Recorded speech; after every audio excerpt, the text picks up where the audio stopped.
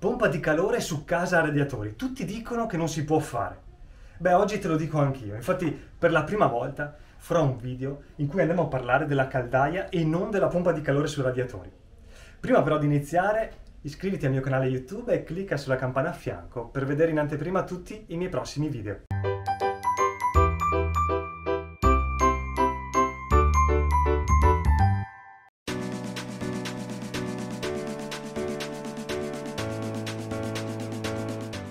Ciao, oggi siamo qui e voglio parlarti della caldaia. Sì, dirai, ma eh, Samuele, hai parlato fino ad oggi solo delle pompe di calore e che possono essere installate su case a radiatori come questa e oggi mi parli della caldaia. Ebbene sì, voglio parlarti della caldaia. Prima però lascia che mi presenti, io sono Samuele e aiuto le famiglie a vivere senza gas, cioè a trasformare le loro case in 100% elettriche, togliendo le caldaie e con le pompe di calore al loro posto. Non lo faccio io naturalmente, lo fa la rete di installatori partner Sigillo Sicuro.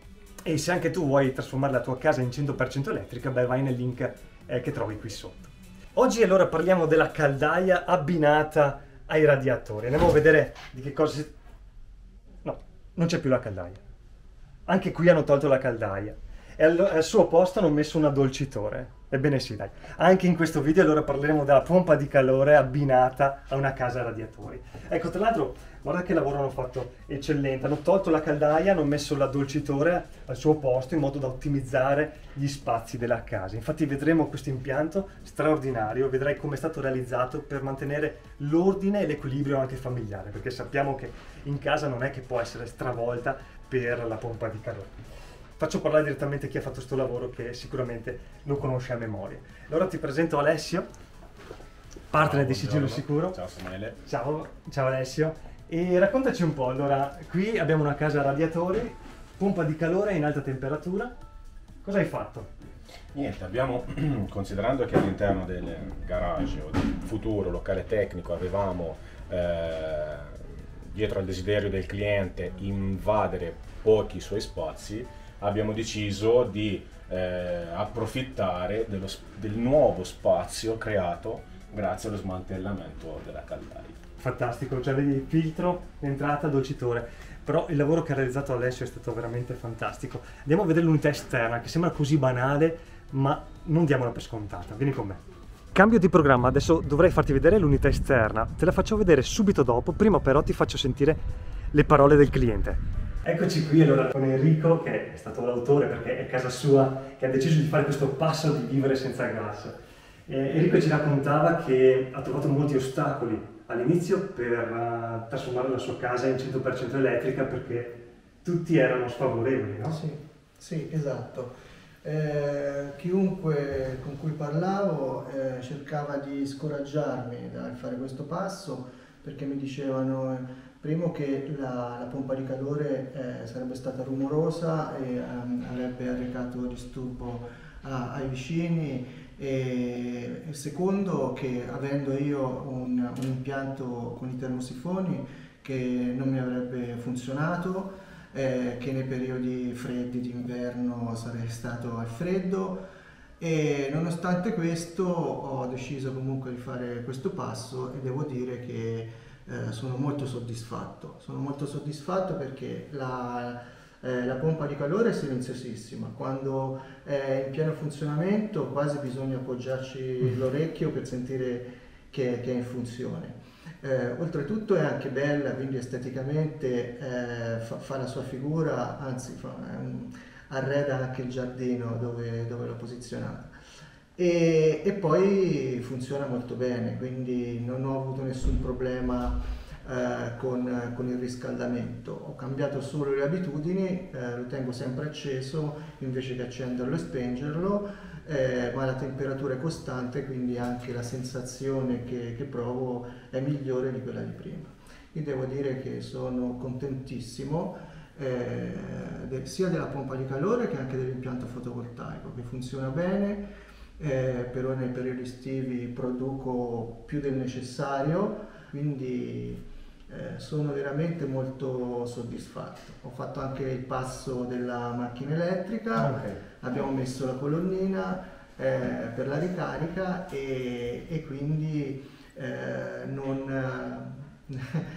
non andiamo più dal benzinaio eh, a, mettere, a mettere benzina e quindi un ulteriore risparmio. Tanta roba. Sì, contento, contento su, su, ogni fronte. Bene, ci fa piacere perché alla fine il nostro lavoro è questo, non è, non è installare pompe di calore, ma sì. avere famiglie soddisfatte. Insomma. Sì, e devo dire che anche gli spazi utilizzati sono stati molto, molto contenuti, quindi eh, sono riusciti, devo dire anche questo, bravura eh, degli installatori, eh, a, ad ottimizzare gli spazi e mh, l'opera non è stata invasiva perché in casa non ho toccato niente, non ho dovuto eh, aumentare gli elementi dei termosifoni, non ho dovuto mh, smurare o fare tracce, assolutamente in casa non ho toccato niente. E solamente eh, abbiamo passato i tubi in giardino e, e messo gli impianti in garage. In garage. Ecco, ci tengo a concludere eh, sul fatto che non è frutto del caso che le cose funzionino, che si può passare una caldaia a una pompa di calore sui casaradiatori, perché le esperienze che ha avuto Enrico con installatori, con venditori, anche con progettisti che hanno detto no, non si può fare, esatto. sono tutte dettate però da un sentito dire. Nessuno si è messo qui a fare effettivamente due calcoli e a dire qui non si può fare oppure sì, si può fare. Quello che invece è stato fatto con Alessio e con uh, la Miki eh, dove hanno analizzato l'edificio, hanno analizzato l'impianto e, e hanno dedotto che si poteva effettivamente fare. Eccoci qui sull'unità esterna, quindi l'unità che serve per recuperare energia dall'aria e trasformarla poi in calore per riscaldare casa. Come vedi è stata fatta una platea per supportare il peso della pompa di calore perché pesa 220 kg, ecco non è una, una cinesata, è una pompa di calore europea tipo professionale, quindi ha anche il suo peso e poi è stato fatto uno scavo tutto attorno al giardino senza toccare nulla e tagliato poi il marciapiede, ma vieni a vedere come è stato fatto il lavoro sul marciapiede.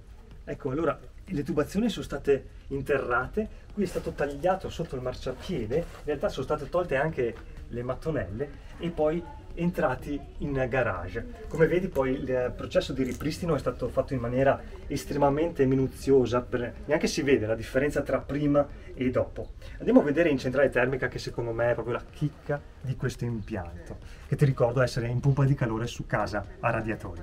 Eccoci in centrale termica, nel cuore dell'impianto. Come vedi non era una centrale termica perché con la caldaia tutto era nella nicchia di prima che adesso è stata adibita per l'addolcitore e il filtro dell'acqua d'ingresso. Qui con Alessio, che ha fatto veramente un lavoro certosino, in un metro e mezzo per un metro e mezzo è riuscito a farci stare una centrale termica per pompa di calore professionale. Raccontaci un po', Alessio, i macro componenti che, che ci compongono questa centrale. Sì, come hai anticipato te, qua, qua siamo riusciti in, in, uno spazio molto ridotto, anche dietro la richiesta del cliente, a inserire il modulo idronico eh, il modulo interno de, della pompa di calore, eh, l'accumulo per acqua calda sanitaria e l'accumulo tecnico. Eh, rispetto alla caldaia ex esistente, abbiamo, ci siamo ricollegati con la vecchia tubazione installando un nuovo gruppo di rilancio. Eh, ovviamente ci sono tutti ehm, gli accessori, eh, carico automatico e defangatore d'obbligo in alcuni impianti, soprattutto su tutti, e, e i, i vari vasi d'espansione. Ecco perché gruppo di rilancio, cioè la pompa, perché tipicamente le caldaie hanno sempre un circolatore, cioè una pompa al loro interno e questa fa girare l'acqua anche nell'impianto. Passando però a un sistema in pompa di calore, per come lavoriamo noi, lavoriamo con un puffer di acqua tecnica indispensabile, se non hai già visto dei video vai a vederteli proprio sull'importanza del puffer per l'acqua tecnica, che mi lavora come separatore idraulico, quindi abbiamo sempre la necessità di rilanciare l'acqua poi dal puffer verso l'impianto di casa, quindi verso i radiatori. Poi qui, eh, se non sbaglio, hai fatto anche tutto un lavoro legato al fotovoltaico. Sì, ovviamente avendo un, un generatore a corrente elettrica, la volontà e il desiderio del cliente era eh, diventare più possibilmente indipendente dai fornitori di energia elettrica e eh, soprattutto essere più ecologico. Quindi abbiamo integrato tutto il sistema con un buon impianto fotovoltaico con inverter monofase da 6 kW e un campo fotovoltaico di picco di 9 kW 10. Ok, anche il sistema di accumulo? Anche con, con un buon sistema di accumulo da eh, due batterie, due pacchi batteria da 10 kWh ciascuno.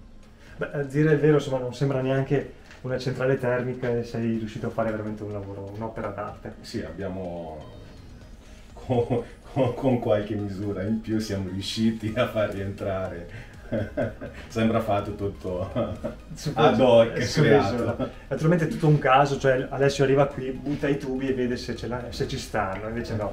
Ragazzi, eh, qui eh, prima delle mani bisogna accendere il cervello, la testa, si progetta, si tirano giù le misure, si definiscono i passaggi e poi si realizza. Così si fanno le opere fatte bene come eh, Sigillo Sicuro insomma insegna. Vuoi dire due parole su come avete approcciato, come avete iniziato questa, questa esperienza, questa avventura? Allora, io sono Michela, faccio parte dello studio tecnico Project House e il nostro lavoro è fondamentalmente un lavoro che parte dall'analisi fino al progetto del, dell'intervento.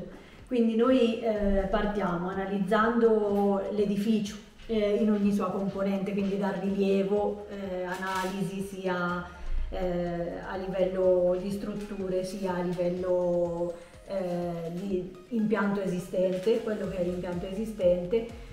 Eh, tiriamo fuori la composizione della casa, quindi tutto ciò che riguarda eh, pareti, solai, elementi disperdenti, infissi e da qui esce fuori un numero che fondamentalmente è il fabbisogno termico di ogni fabbricato.